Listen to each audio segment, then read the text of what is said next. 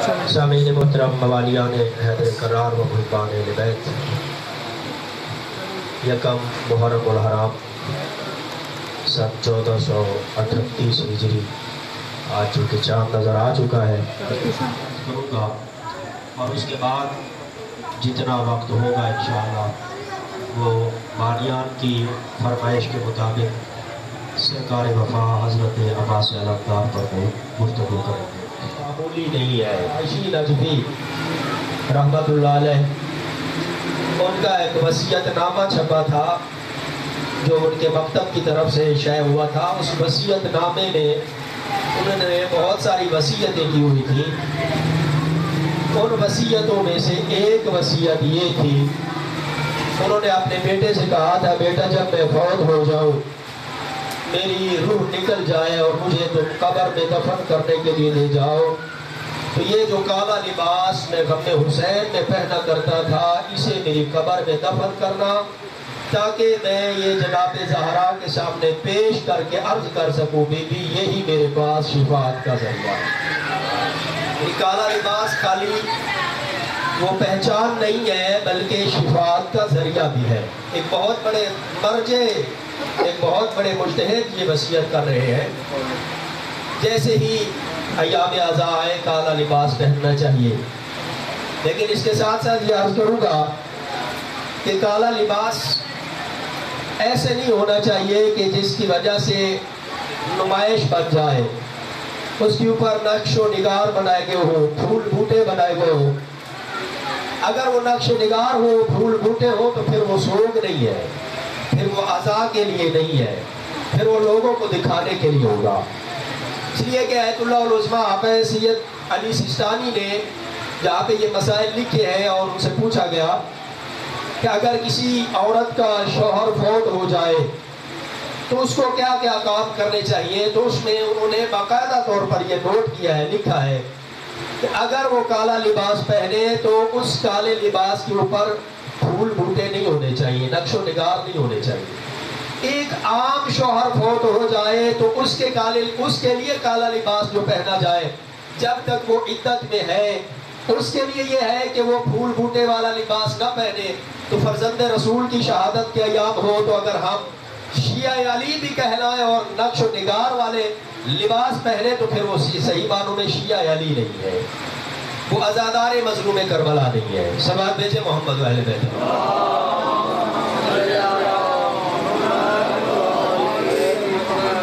لباس ایام اعضاء میں پہننا چاہیے۔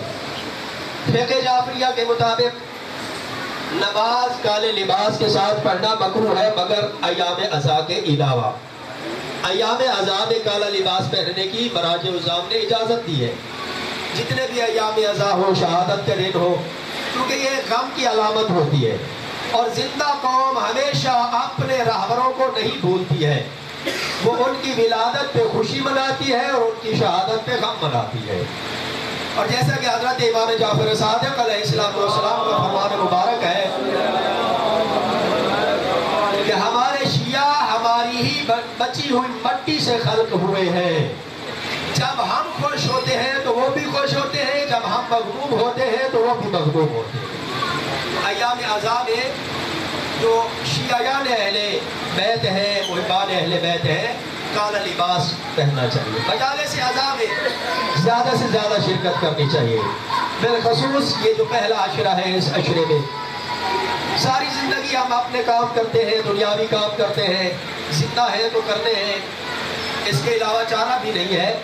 مگر یہ جو دس دن ہیں، یہ جو دس ایام ہیں، ان ایام میں اگر ہم چوبیس گھنٹوں میں سے دو گھنٹے، تین گھنٹے نام حسین پر وقف کر دیں گے تو اسے کوئی روزی میں فرق نہیں پڑتا۔ ہے جہاں پہ مجلس ہو، زیادہ سے زیادہ مجالس میں شرکت کی جائے۔ زیادہ سے زیادہ ازاداری میں شرکت کی جائے، جلوس اذا میں شرکت کی جائے۔ جہاں پہ پہلے آپ کاروبار میں اپنی دکان سے اپنے آفس پہ سے آٹھ بجے آتے ہیں، وہاں سے اگر ہم پہ چار بجے آ جائیں اور بالخصوص جو پانچ محرم الحرام کے بعد یا چھ کے بعد جلوس کا سلسلہ شروع ہوتا ہے، ان جلوس اعضاء میں زیادہ سے زیادہ شرکت ہونی چاہیے۔ جتنی زیادہ شرکت ہوگی، اتنا تمہارا وزن بنے گا، اتنی شیعہ آل محمد ابھر کر سامنے آئیں گے۔ یہ جو لوگ شیعہ آل محمد کو مٹانے کی کوشش کرتے ہیں، ڈرانے کی کوشش کرتے ہیں، دھمکانے کی کوشش کرتے ہیں، کبھی ٹارگٹ کلک کے ذریعے سے، کبھی دھماکوں کے ذریعے سے ان کو پتہ چل جائے گا کہ جتنے ہم دھماکے کرتے ہیں، جتنی ہم ٹارگٹ کلنگ کرتے ہیں، جتنا ہم ڈرانے، دھمکانے کی ان کو ختم کرنے کی کوشش کرتے ہیں، یہ اتنا اور ابھر کر سامنے آتے ہیں۔ اور ہماری تاریخ گواہ ہے، جہاں کہیں بھی ایام ازاں میں، جہاں کہیں بھی ازاداری کے خلاف کسی نے قدم اٹھایا ہے، اگر وہاں پہلے سینکڑوں میں ہوتے تھے، تو وہاں پہ ہزاروں میں آئے ہیں۔ اور اگر پہلے ہزاروں میں ہوتے تھے، اگر کوئی روکنے پہ آیا ہے تو وہاں پہ پھر لاکھوں میں آئے ہیں۔ اور تاریخ گواہ ہے، یہ آپ سے پہلے، دو تین سال پہلے کی بات ہے، جو راول پنڈی میں چھ کا جلوس تھا، اس جلوس میں جب رکاوٹ ڈالی گئی تھی، اس جلوس کے لیے کہا گیا تھا کہ جلوس نہیں ہونے دیں گے۔ تو میں سلام پیش کرتا ہوں اپنے ان اہل سنت برادران کو، ان اہل سنت بھائیوں کو جنہوں نے کہا تھا کہ اگر شیعہ امام حسین کے جلوس کے لیے نہیں نکلیں گے، تو ہم اہل سنت اپنے بچے لے کر نکلیں گے۔ ہم اہل سنت اپنی بیٹیاں لے کر نکلیں گے۔ امام حسین کا جلوس ہم گزاریں گے۔ کون ہے جو روکتا ہے امام حسین کے جلوس کو؟ تو زیادہ سے زیادہ جلوس عذاب شرکت ہونی چاہیے۔ جب بھی مجلس میں جائیں، جب بھی جلوس عذاب میں جائیں، کیونکہ مجلس اعضاء ہماری عبادت ہے، جلوس اعضاء ہماری عبادت ہے۔ اس عبادت میں پاکیزگی ہونی چاہیے، باوضو ہو کر جانا چاہیے۔ اور جلوس اعضاء میں باوضو ہو کر جانا چاہیے۔ جہاں کہیں بھی جلوس ہو اور جلوس اعضاء میں اگر ہو اور نماز کا وقت ہو جائے، تو ہمیں پھر پانی ڈھونڈنے کی ضرورت نہ پڑے، وہیں پہ ہم سجدہ کریں۔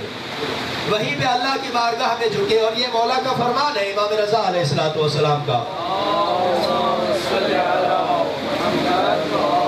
مولا فرماتے ہیں ہمارے ازاداروں یاد رکھو کہ صف آزا میں آ کے حسین حسین کرنا یہ مقصد حسین، یہ ازاداری حسین ہے۔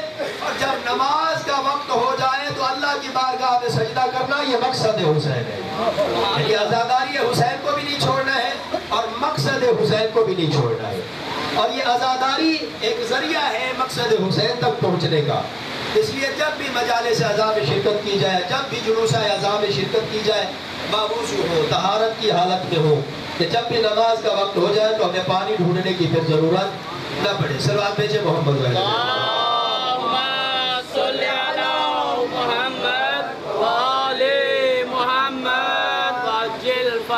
کوشش کریں جلوس اعضاء میں مجالس اعضاء میں اپنے بچوں کو لے کر۔ بچوں کو شرکت کروائے یہ نہ کہے کہ یہ ابھی چھوٹا ہے۔ مثلا بعض لوگ ایسے ہوتے ہیں کہیں پہ اگر اگر کہیں پہ خدا نہ خواستہ کوئی دھمکی آ جائے کہیں کہ آپ جلوس نہیں ہونے دیں گے تو پھر ایسا شیعہ نہیں ہونا چاہیے کہ کہے بیٹا آپ جوان ہیں ابھی آپ کی جوانی کی ضرورت ہے آپ گھر بیٹھ کے مجلس آزاد سن لیں سی ڈی کے ذریعے سے۔ یہ کیبل پہ علماء علماء کرام پڑھ رہے ہیں ادھر بیٹھ کے سن لیں۔ نہیں بلکہ اپنے جوانوں کو جلوس عذاب میں شرکت کروائے اپنے بچوں کو جلوس عذاب میں شرکت کروائے یہ تربیت کا ذریعہ ہے جلوس عذاب میں شرکت ہونا مجالے سے عذاب میں شرکت ہونا۔ ہمارے بچوں کی تربیت خالی یہاں سے شروع نہیں ہوتی ہے بلکہ بچوں کی تربیت ماں کے پیٹ سے شروع ہو جاتی ہے۔ سبحان اللہ۔ جب بچہ ماں کے پیٹ میں ہوتا ہے تو وہاں سے اس کی تربیت شروع ہوتی ہے وہاں سے باپ کی ذمہ داریاں شروع ہوتی ہے وہاں سے ماں کی ذمہ داریاں شروع ہوتی ہیں۔ اس لیے بچوں کو اپنے اہل و اپنے اہل و عیال کو مجالس عذاب سے زیادہ سے زیادہ سے زیادہ شرکت کروائیں۔ اور کوشش کریں ایسی مجلس عذاب ہو جہاں پہ پڑھنے والا آپ کو کچھ دے۔ توجہ فرما رہے میں کبھی بھی کسی بھی مجلس کی میں نفی نہیں کرتا ہوں۔ میں نے کبھی یہ نہیں کہا کہ فلاں مجلس میں شرکت کریں اور فلاں میں نہ کریں۔ جہاں مجلس ہو بلکہ ہم تو یہ پیغام دیتے ہیں کہ یہ نہ دیکھا کرو کہ پڑھنے والا کون ہے پڑھانے والا کون ماشاءاللہ ماشاءاللہ۔ یہ دیکھا کرو کہ کس کے لیے ہو رہا ہے۔ اس لیے مجالس آزاد جہاں کہیں ہو رہی ہو وہاں پہ شرکت کریں۔ ہاں البتہ پڑھنے والے کی ایک ذمہ داری ہوتی ہے کہ زیادہ سے زیادہ وہ مقصد حسین کو پہنچائے۔ کیونکہ یہ مقصد حسین کو پہنچانے کا ایک ذریعہ ہے۔ کہ مولا نے کربلا کیوں چھوڑی ہے؟ مولا نے بندے ہوئے احرام کیوں چھوڑے ہیں؟ مولا نے مدینہ کیوں چھوڑا ہے؟ مکہ کیوں چھوڑا ہے؟ کربلا میں کیوں آئے ہیں؟ کربلا میں آنے کا مقصد کیا تھا؟ اگر کوئی اور نہ بتائے، کسی اور سے پوچھنے کی ضرورت بھی نہیں ہے، تو خود اس سے پوچھ لینا چاہیے کہ جو مدینہ چھوڑ کے آ رہا ہے۔ جس نے مکہ چھوڑا ہے، اس سے پوچھنا چاہیے، مولا آپ نے کیوں چھوڑا ہے؟ آپ کا مقصد کیا ہے؟ آپ اپنا یہ بھرا گھر کیوں لٹا رہے ہیں؟ کربلا میں کیوں آئے ہیں؟ تو مولا فرمائیں گے کہ میرے خطبے پڑھو تم آج پوچھ رہے ہو۔ میں نے تو جب ساٹھ محرم اٹھائیس رجب کو مدینہ چھوڑا تھا اس وقت سے لے کر عصر عاشور کی شام تک عاشور کے دن دس محرم کے اثر تک میں نے تین سو ساٹھ خطبے پڑھے ہیں اور ہر ہر خطبے میں بتایا کہ میرا مقصد کیا ہے۔ توجہ فرما رہے ہیں صاحبان مولا کے خطبات بہت زیادہ ہے مولا کے فرامین بہت زیادہ ہے لیکن یہاں پہ ایک بات عرض کروں فکری بات، تمہیدی باتیں ہیں چند۔ اگر ہم یہ سوال کریں آپ پر، مجھ پر سوال کیا جائے ہم چونکہ مل کے بیٹھے ہیں، ہم نے چند باتیں کرنی ہیں مل کر۔ ایک دوسرے سے سوال و جواب کی صورت میں ایک دوسرے سے ہم نے پوچھنا ہے۔ اگر ہم یہ دیکھیں کہ آج سے بیس سال پہلے ہمارے جوان، ہمارے بچے بزرگوں کا زیادہ احترام کرتے تھے یا آج زیادہ کرتے توجہ فرما رہے آج سے بیس سال پہلے اخلاقیات زیادہ بہتر تھیں یا آج زیادہ بہتر ہے تو ایسا کیوں ہے یہ کہ آج سے بیس سال پہلے زیادہ بہتر تھی، آج زیادہ بہتر نہیں ہے، جبکہ مجالس سے آزادی سینکڑوں ہو رہی ہے؟ اگر آپ صرف فیصلہ باد کی مجالس سے آزاد کو شمار کرنا چاہیں تو سینکڑوں کی تعداد میں ہے۔ تو ایسا کیوں ہے کہ ہمارے اخلاقیات پہلے بہتر تھے، آج کی نسبت؟ ہمارے بچے پہلے زیادہ احترام کرتے تھے، آج کی نسبت؟ تو پھر ہمیں غور کرنا چاہیے، فکر کرنی چاہیے کہ کچھ نہ کچھ فرق ضرور ہے۔ تو اس کا مطلب یہ ہے کہ صحیح پیغام اور صحیح مقصد نہیں پہنچایا جا رہا ہے۔ پڑھنے والے کی جو ذمہ داری ہے، وہ پوری نہیں ہو رہی ہے۔ پڑھانے والی کی جو ذمہ داری ہے، وہ پوری نہیں ہو رہی ہے۔ مجالس اعضاء میں اکثر بانیان کی یہ کوشش ہوتی ہے، معذرت کے ساتھ۔ اکثر بانیان کی یہ کوشش ہوتی ہے کہ میں ایسا بندہ پڑھاؤں جس پہ رش زیادہ ہو۔ جس کو سننے کے لیے لوگ زیادہ ہیں۔ جملہ اگرچہ سخت ہے، معاف کرنا مجھے اگر ناگوار گزرے تو۔ اگر کثرت اور زیادتی کو دیکھنا ہو تو کربلا میں دیکھیے، حسین اکیلے تھے، دوسرے زیادہ تھے۔ کثرت اور زیادتی کو نہیں دیکھنا چاہیے، دیکھنا یہ چاہیے کہ ہمارا مقصد کیا ہے، ہم نے پیغام کیا پہنچانا ہے۔ اور ہم تک پیغام کیا پہنچایا جا رہا ہے۔ اور اگر پڑھنے والا یہ کہہ رہا ہو پڑھنے والا یہ پیغام پہنچا رہا ہو کہ مجلس کا وقت جو ہے وہ معین نہیں ہے نماز کا وقت معین ہے۔ مجلس کی تو قضا نہیں ہے اور نماز کی تو قضا بھی ہے لہذا مجلس ہونی چاہیے نماز کی ضرورت نہیں ہے۔ تو جو فرما رہے ہیں۔ آپ مجھ سے زیادہ یہ جملے سنتے ہوں گے اور سنے ہوں گے آپ نے ممبروں سے۔ ہمارے ہی ممبر سے یہ جملے سنے ہوں گے۔ پیغام یہ اگر ایسا پہنچایا جا رہا ہو تو اخلاقیات کیسے بہتر ہو اگر ایسا پیغام پہنچایا جا رہا ہو تو عبودیت کیسے بڑھے؟ اللہ کے قریب کیسے ہو؟ اگر یہ پیغام پہنچایا جا رہا ہو کہ مجلس آزاد جو ہے، اس کی قضا نہیں ہے، نماز کی قضا ہے، کیا سمجھتے ہیں کہ نماز کی قضا ہے اور مجلس کی قضا نہیں ہے؟ تو کیا اس کا اس کا مطلب یہ ہے کہ مجلس کی اہمیت اس سے زیادہ بڑھ گئی ہے؟ مجلس بھی عبادت ہے، نماز بھی عبادت ہے، یاد رکھیے گا۔ مگر مجلس ایسی عبادت ہے جس کا وقت معین نہیں ہے۔ نماز ایسی عبادت ہے جس کا وقت معین ہے۔ توجہ فرمائیے گا۔ نماز ایسی عبادت ہے جس کا وقت معین ہے۔ اور کیا سمجھتے ہیں کہ اگر نماز قضا ہو جائے اور اس کی دو رکعت نماز ہم فجر کی پڑھ دیں تو کیا سمجھتے ہیں کہ وہ کمی پوری ہو گئی ہے؟ وہ کمی کبھی پوری نہیں ہو سکتی ہے۔ خدا نخواستہ اگر کسی بندے کی آج کی فجر کی نماز قضا ہو گئی ہو اور آج فجر کی نماز وقت پر نہ پڑی ہو تو بتائیں آج فجر پلٹ کر واپس آنے والی ہے؟ جب آج فجر واپس پلٹ کر آنے والی ہے تو اس کا مطلب ہے وہ کمی بھی پوری نہیں ہو سکتی ہے۔ گیا وقت پھر ہاتھ نہیں آتا ہے۔ تو یہ جو پھر ہم دو رکعت نماز قضا پڑھ لیتے ہیں، یہ کیا ہے؟ کہا جاتا ہے جی قضا پڑھ لے قضا کی اجازت دی گئی، تو کیا مطلب ہے اس کا؟ کیا ہمارا وہ فریضہ پورا ہو گیا؟ نہیں، فریضہ پورا نہیں ہوا ہے۔ تو یہ تو لطف خدا ہے۔ پروردگار عالم نے فرمایا ٹھیک ہے تو نہیں پڑھ سکا۔ سورج نکلنے کے بعد بھی آجا میری بارگاہ میں سجدہ کر لے دو رکعت نماز پڑھ لے تو میں اسباب لطف تیری یہ دو رکعت بھی قبول کر لوں گا۔ نعرہ ماشاءاللہ ماشاءاللہ۔ تو اور اس کے لیے جو قضا ہو گئی اس کے لیے باقاعدہ توبہ ہے استغفار ہے۔ وہ دو رکعت نماز جو ہم پڑھ رہے ہیں وہ کمی نہیں ہے۔ یہ تو بلکہ ہم اعتراف کر رہے ہیں کہ ہم سے غلطی ہوئی ہے، گناہ ہوا ہے جس کی ہم توبہ کر رہے ہیں۔ کوتاہی ہو گئی ہے جس کی ہم تلافی کر رہے ہیں۔ تو جس عبادت کا وقت معین ہے اور جس کا وقت معین نہیں ہے، ان کا آپس میں مقابلہ اگر ممبر پر ہوگا تو اسے کیا کیا پیغام پہنچایا جا رہا ہے؟ کیا میسج پہنچایا جا رہا ہے؟ مقابلہ کبھی بھی ایسی چیزوں کا نہیں ہونا چاہیے بلکہ حسین مولا تو اسی نماز کو بچانے کے لیے آئے ہیں کربلا۔ توجہ فرما صاحبہ۔ ماشاءاللہ۔ اگر نماز کا وقت معین ہے اور مجلس کا وقت معین نہیں ہے تو اس کا مطلب یہ ہے کہ نو بجے ہم ظہر کی نماز نہیں پڑھ سکتے ہیں۔ آپ میں سے کوئی ہے جو نو بجے ظہر کی نماز پڑھ لے پانچ بجے مغرب عشاء کی نماز پڑھ لے؟ مجلس آزاد نو بجے کر سکتے ہیں یا نہیں کر سکتے؟ مجلس آزاد رات آٹھ بجے کر سکتے ہیں یا نہیں کر سکتے؟ شام چار بجے کر سکتے ہیں یا نہیں کر سکتے؟ تو اس کا مطلب یہ ہے کہ مجلس آزاد جب چاہے، جس وقت چاہے کر سکتے ہیں، لیکن نماز ہر وقت نہیں ہے۔ نماز کے لیے تو وقت معین ہے۔ جب وقت معین ہے تو اگر کسی عبادت کا وقت معین ہو تو اس کے معین وقت کی قدر کرنی چاہیے۔ اس کی حفاظت کرنی چاہیے، اس کو بچانا چاہیے۔ لہذا اگر ایسا کوئی پیغام پہنچا رہا ہو، تو ایسے پیغام کو قبول نہیں کرنا چاہیے۔ اگر کوئی ایسی بات کہہ رہا ہے، تو میں ایسا نہیں کہوں گا کہ ایسے بندے کی مجلس میں نہ جائے۔ جائیں ہر جگہ پہ جائیں جہاں آپ پہنچ سکتے ہیں، مجلس عذاب میں شرکت کریں پیغام اصل میں یہ پہنچا رہا تھا کہ جہاں تک ممکن ہو، مجلس عذاب میں شرکت کریں مگر سننے والے شخص، جو جو پڑھنے والا شخص ہے، پڑھنے والا ذاکر ہے، عالم ہے، خطیب ہے وہ جو کچھ کہہ رہا ہے، آنکھیں بند کر کے اس کی بات پہ عمل نہیں کیا جا سکتا ہے۔ اللہ نے عقل بھی دیا ہے، اللہ نے ہمیں رہبر بھی دیے ہیں۔ ہمیں ان سے پوچھ لینا چاہیے، ان کے فرامین کے مطابق اس بات کو سامنے رکھ لینا چاہیے کہ کیا یہ بات ٹھیک کر رہا ہے یا غلط کر رہا ہے۔ جب اللہ نے عقل دے دی ہے تو فرق لینا چاہیے ہمیں کہ کیسی بات یہ کر رہا ہے اور کیسی نہیں کر رہا ہے۔ سلوات بھیجے محمد اہل بیت محمد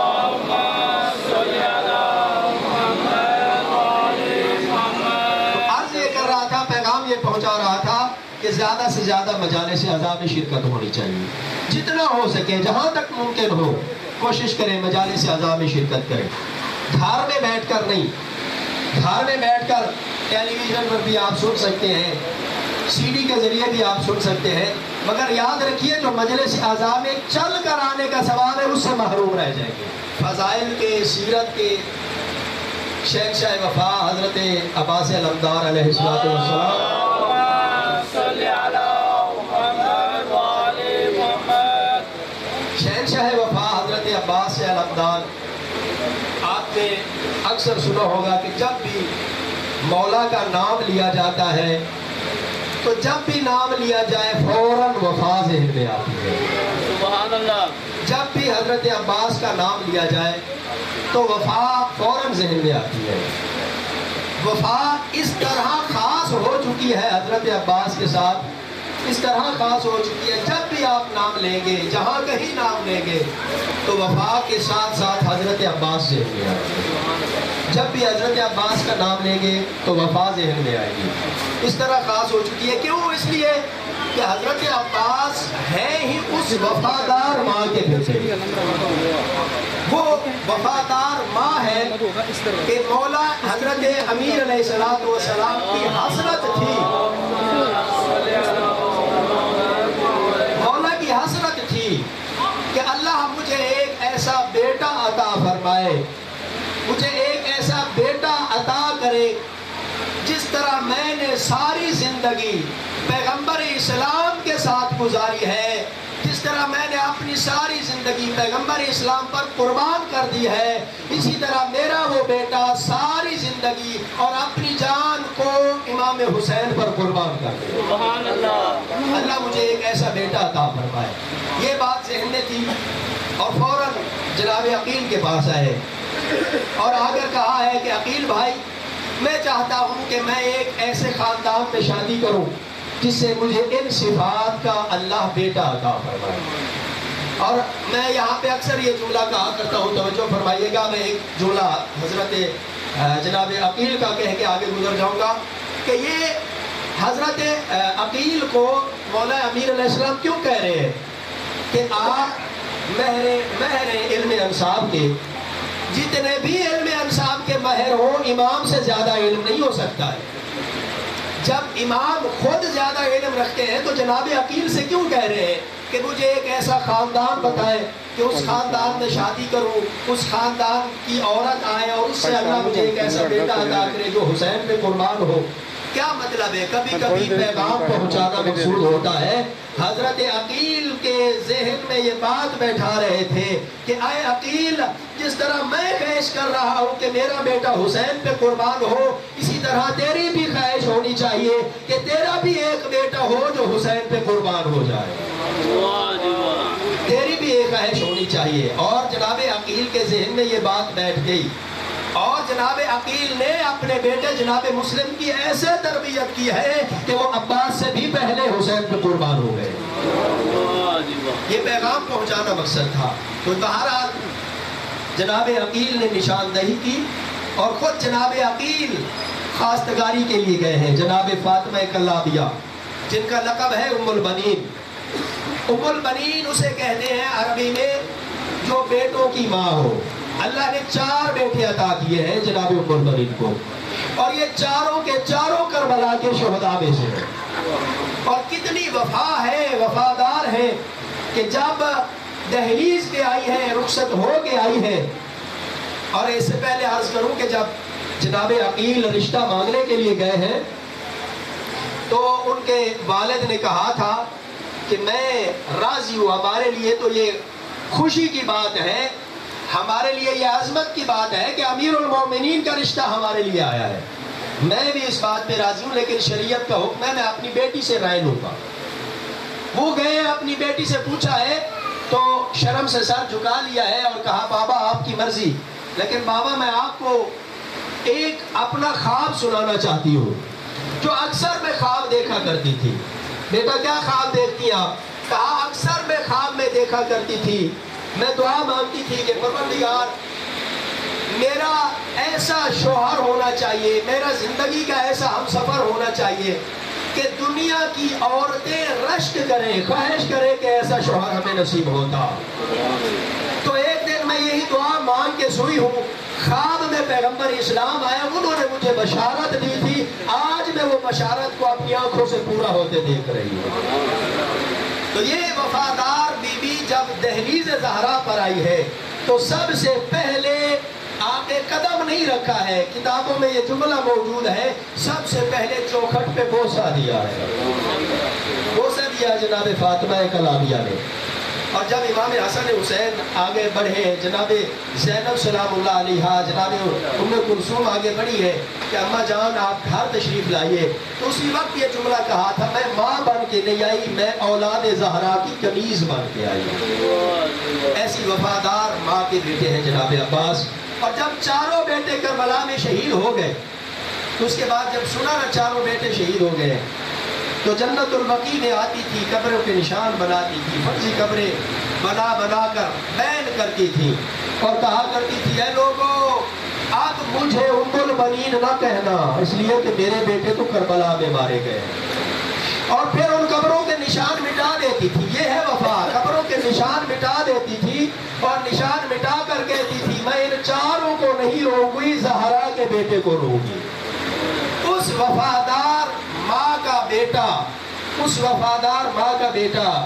جناب عباس، جب کربلا میں شمر آیا نا عصر عاشور کی شب کو، ایک پیغام لے کر، ایک میسج لے کر، اور شمر نے کہا تھا، کہاں ہے میری بہن کا بیٹا؟ کہاں ہے میری بہن کا بیٹا عباس؟ اور یہ صبح کا وقت تھا۔ فجر کا وقت تھا، نماز فجر پڑھ چکے ہیں، اور مولا عباس آقا حسین کے خیمے میں موجود ہے اور ادھر آقا عباس ہدایات لے رہے ہیں سارے دن کے لیے اور وہاں ادھر سے شمر آیا ہے۔ اب میں اس کو مختصر کر رہا ہوں کیونکہ آگے چند جملے مسائل پہ عرض کرنے جا رہا ہوں۔ تو شمر نے آ کر انہوں نے فیصلہ کیا تھا کہ دھوکہ دیا جائے۔ جب تک عباس حسین کے ساتھ ہے اس وقت تک ہم جنگ نہیں جیت سکتے۔ تو انہوں نے ہتھیار یہ استعمال کیا تھا کہ دھوکہ دیا جائے۔ اور انہوں نے کہا کہ شمر کو بھیجا جائے۔ کیونکہ بعض لوگوں نے یہ کہا ہے کہ شمر وہ ایسا بندہ ہے کہ جو ماں کی طرف سے جناب عباس کے رشتہ دار ہیں اور یہاں پہ بھی ہمارے اکثر علماء نے یہ لکھا ہے اور کہا ہے کہ آزاداری جو یہ رشتہ داری ہوتی ہے، یہ رشتہ داری تب ہوتی ہے جب کسی کے باپ کا علم ہو۔ شیمر بھی ان چند لوگوں میں سے ہے جس کا باپ کا پتہ نہیں ہے۔ جب باپ کا پتہ نہیں ہے تو رشتہ داری کیسی بہرحال وہ آیا ہے فجر کے وقت اور کہا ہے، کہاں ہے میری بہن کے بیٹے عباس؟ اب جناب عباس کے چہرے کے شکم تبدیل ہو رہے ہیں۔ غصہ آ رہا ہے، مگر کوئی جواب نہیں دے رہے۔ یہ ہوتی ہے اطاعت۔ امام کے سامنے بیٹھنے کے آداب بتا رہے ہیں امام۔ جناب عباس، کہ امام جب موجود ہو تو پھر کوئی بھی کام اپنی طرف سے نہیں کیا جاتا ہے، بلکہ وقت کے امام سے پوچھ کے چلا جاتا ہے۔ وقت کا امام جیسے کہے گا، ویسے کرنا ہوگا۔ سن رہے ہیں، مگر کوئی جواب نہیں دے رہے۔ ہیں چہرے کی شکل تبدیل ہو رہے ہیں۔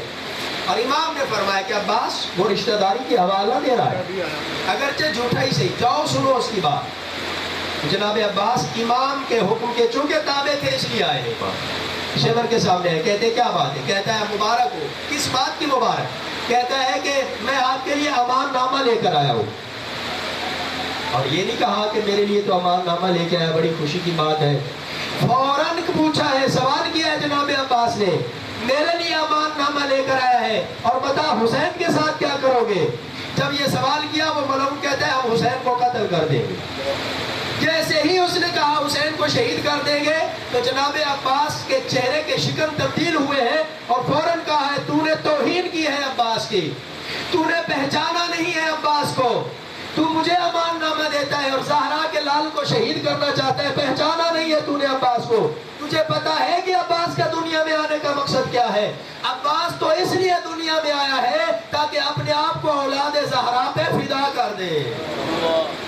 تاکہ اپنے آپ کو اولاد زہرا پہ قربان کر دے۔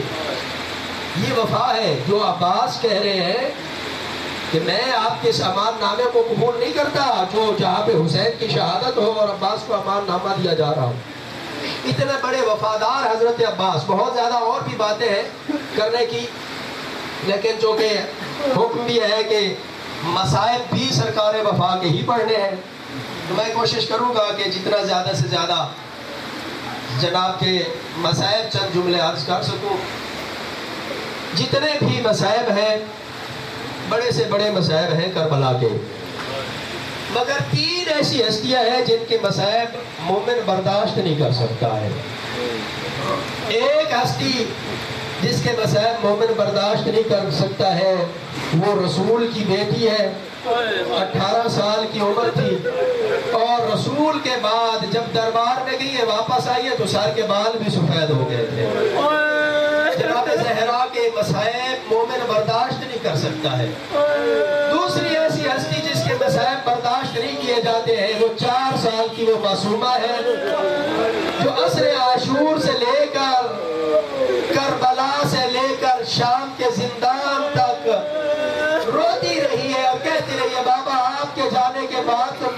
سو رہی ہو۔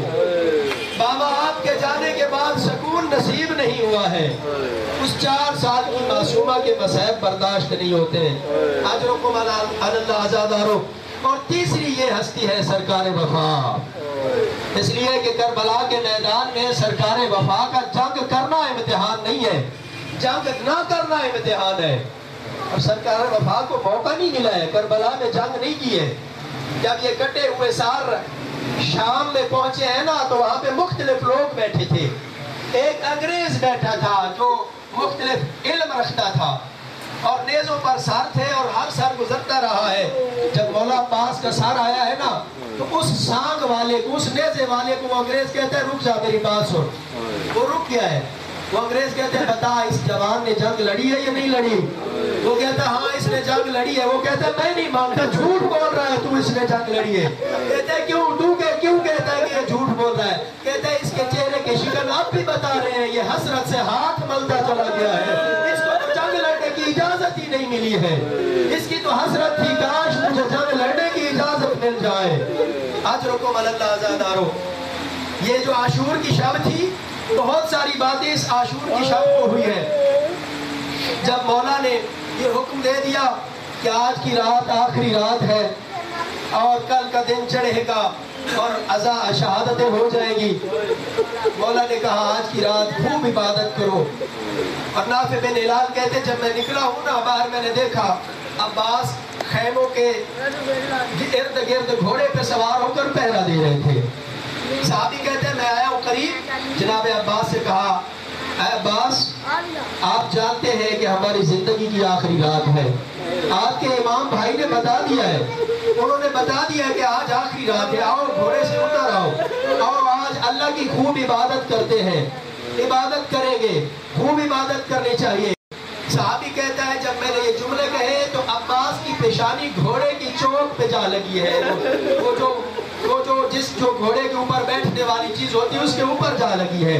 اور رو کر عباس نے یہ جملہ کہا تھا، ٹھیک ہے، آج آج زندگی کی آخری رات ہے، عبادت کی رات ہے، مگر آج علی کی بیٹیوں کے امن کی بھی آخری رات ہے۔ میں پیرا دے رہا ہوں، علی کی بیٹیوں کو سہارا ہے، آج عباس زندہ ہے۔ کل کی رات اللہ جانے کون آئے گا، کیسے نبھائے گی؟ اجرکم اللہ آزادارو یہی عباس اسی رات کو پہرا دے رہے تھے، ایک اور صحابی آیا ہے۔ اور آپ کو پتہ ہے، سات محرم سے پانی بند ہو چکا تھا۔ بچوں کی حالات آتش کی آوازیں بلند ہو رہی تھی۔ ہائے پیاس ہائے پیاس کی آوازیں بلند ہو رہی تھی۔ وہ صحابی آیا اور عباس کے گھوڑے کی لگام میں ہاتھ ڈالا ہے اور ہاتھ ڈال کر کہا ہے، عباس، آپ کو پتہ ہے، آپ کا دنیا میں آنے کا مقصد کیا ہے؟ جب اس نے جملہ یہ کہا نا، تو مولا عباس کے قد و قامت کتنا ہے، علماء سے آپ نے سنا ہوگا، تاریخ کم کام والے نے لکھا ہے، اتنا بڑا قد تھا مولا عباس کا کہ اگر رکاب سے پاؤں نکالے تھے تو زمین پر پاؤں جا لگتے تھے۔ اتنا بڑا قد تھا مولا عباس کا۔ جیسے ہی اس نے یہ جملہ کہا نا، عباس، آپ کو پتا ہے آپ کا دنیا میں آنے کا مقصد کیا ہے؟ تو مولا کو اس وقت جوش آیا ہے اور فوراً اس وقت مولا نے رکابوں پر زور دیا ہے رکابیں ٹوٹ گئی ہیں، پاؤں زمین پر جا لگے ہیں۔ اور کہا ہے، میں عباس تمہیں کہہ رہا ہوں، فرزند رسول، زہرا کا لال، وہ خیمے میں اکیلا بیٹھا ہے، سارے اکٹھے ہو کر لگے جاؤ۔ زہرا کے لال سے مجھے اجازت لے کر دے دو، ایک گھوڑا دے دو، ایک تلوار دے دو، جنگ لڑنے کی اجازت دے دو۔ تم سب تسلی سے بیٹھ جانا۔ میں عباس اب جنگ شروع کرتا ہوں، صبح کا سورج طلوع ہونے سے پہلے کوفہ کے دارالحمارہ پر اگر حسین کا جھنڈا نہ لگا ہوں تو ماں نے عباس نام کیوں رکھا ہے؟ جب یہ جملہ کہا نا عباس نے، وہ واپس چلا گیا۔ ہزاروں دس محرم کا دن چڑھا۔ دس محرم کے دن جتنے گئے ہیں، آل گئے ہیں، اصحاب گئے ہیں، اور محمد قاسم، بنی ہاشم کے جتنے افراد جوان گئے ہیں جس کو بھی مولا بھیجنے لگتے تھے میدان، عباس دوڑ کے سامنے آ جاتے تھے اور آ کر کہتے تھے، آقا اس کو نہیں مجھے بھیج۔ آقا میں دیکھ رہا ہوں، میں کیسے برداشت کروں کہ میری سامنے میری آنکھوں کے سامنے زہرا کا چھپر اجڑ رہا ہے۔ اگر مجھے بھیجے، اس وقت مولا حسین کے فرمایا کرتے تھے انتا علامت عسکری، اے عباس، تو میری فوج کا جنرل ہے، تو میری فوج کا کمانڈر ہے، تجھے میں کیسے بھیجوں؟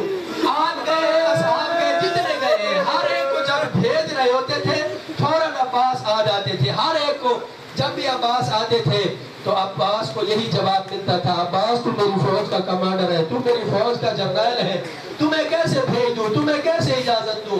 ازاداروں جتنے گئے ہیں، جتنے شہید ہوئے ہیں، میں نے جو لفظ نوٹ کیا ہے، جو میرا جو کچھ مطالعہ ہے، جتنے بھی گئے ہیں، مولا حسین نے کوشش کی ہے، ہر ایک کو کہا ہے، جاؤ پہلے خیمے میں ان کو مل کے آؤ، ماؤں کو مل لو، بہنوں کو مل لو پھوپھیوں کو مل لو لیکن جب عباس کو بھیجا ہے نا حسین نے کوشش کی ہے کہ عباس کے جانے کی اطلاع علی کی بیٹیوں تک نہ پہنچے۔ اس لیے کہ علی کی بیٹیاں عباس کے سہارا پر مدینہ چھوڑ کے آئی تھی۔ عباس کے سہارا پر جنگلوں میں آئی تھی۔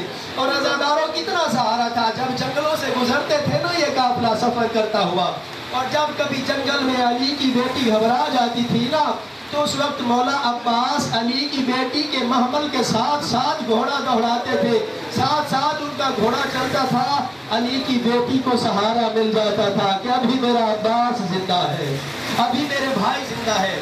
اچھا اداداروں جب سب چلے گئے ہیں نا عاشور کے دوپہر کا وقت آیا ہے۔ اور حسین مولا لاشوں میں ایسے چل رہے تھے جیسے حاجی مینائے قربانی میں چلتا ہے۔ اس وقت پھر عباس آئے آ کر کہا ہے، مولا مجھے اجازت دے میں کیوں آیا ہوں کربلا؟ میرا دنیا میں آنے کا مقصد کیا تھا؟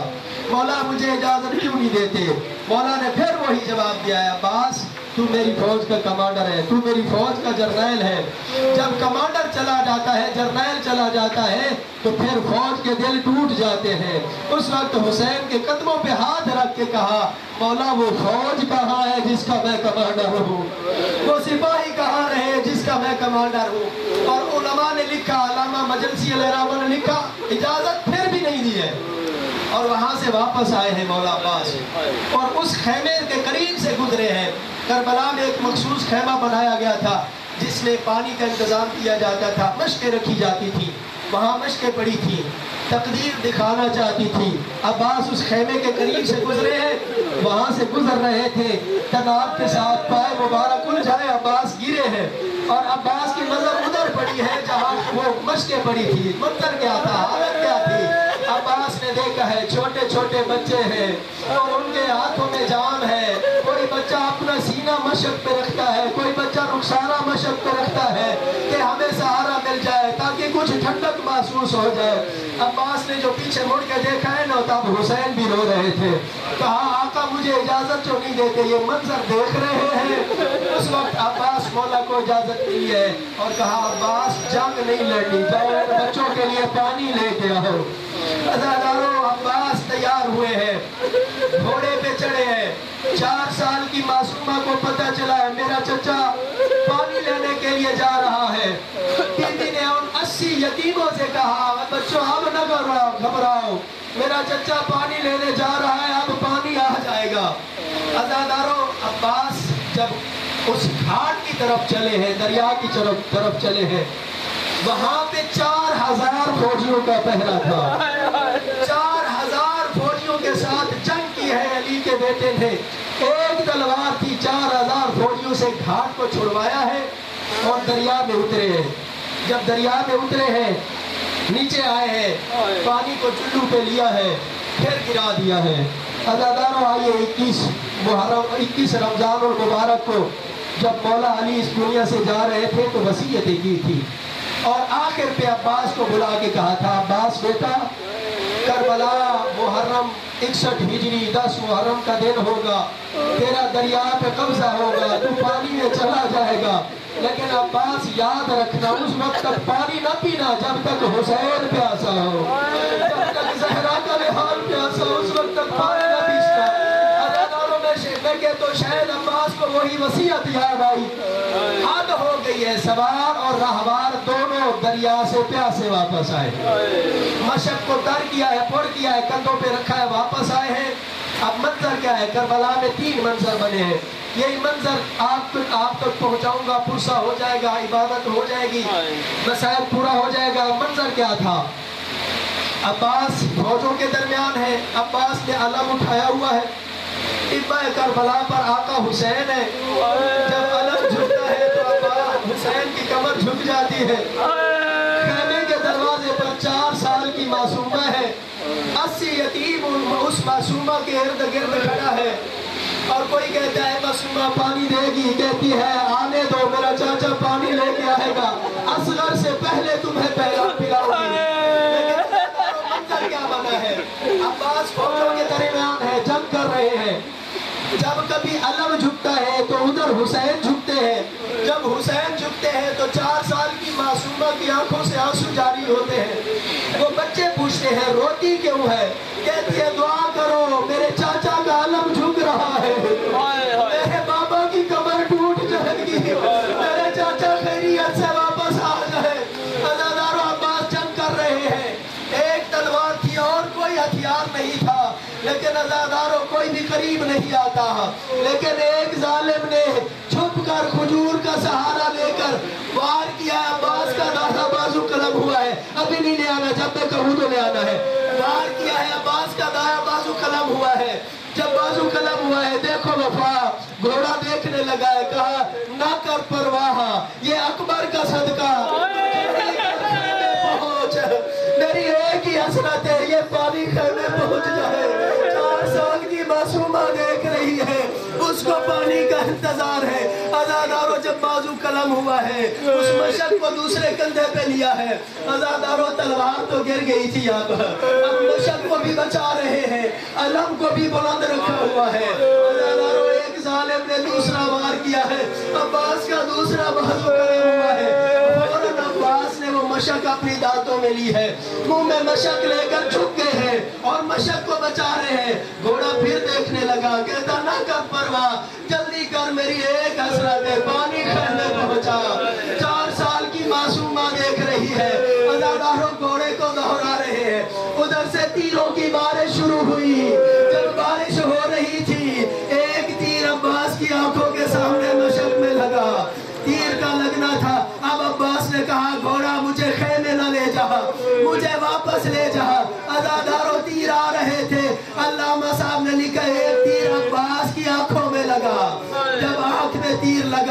لگا عباس زانووں سے وہ تیر نکالنے لگے۔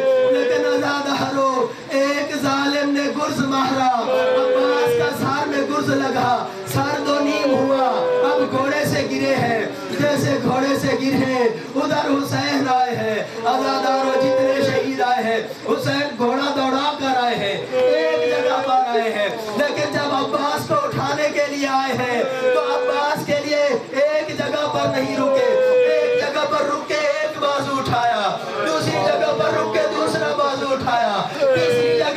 جگہ اٹھائی، چوتھی جگہ سے علم اٹھایا۔ پانچویں جگہ پہ عباس یہی رگڑ رہے تھے۔ جب وہاں پہنچے ہیں، تو کمر پہ ہاتھ رکھ کے کہا الان انکسر ظہری اے عباس، میری کمر ٹوٹ گئی۔ ادادار عباس نے کہا، آقا، مجھے خیمے نہ لے لا- نہ لے جانا۔ مجھے سکینہ سے شرم آتی ہے۔ ادادارو عباس کا علم عباس کی مشق لے کر